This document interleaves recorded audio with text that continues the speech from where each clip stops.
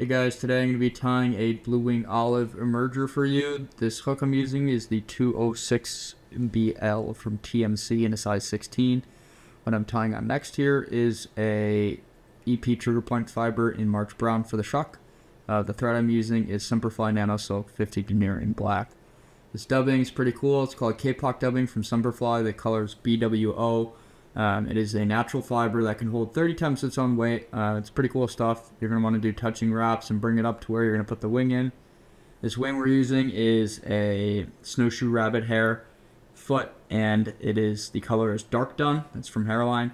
It's really great wing material. The hackle is a Whiting cape in light dun.